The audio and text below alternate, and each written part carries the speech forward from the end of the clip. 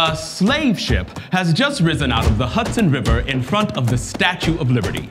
Some deep shit. This slave ship is proof that slavery is not history, it's reality. I'm Freddie, and the title of my poem is I'm Coming Out. The ghetto is a modern day plantation. You can have a PhD, a six figure income, and still be a slave in your mind.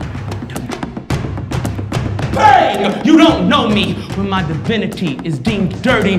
Bang! When they call my anger the black man's disease. Bang!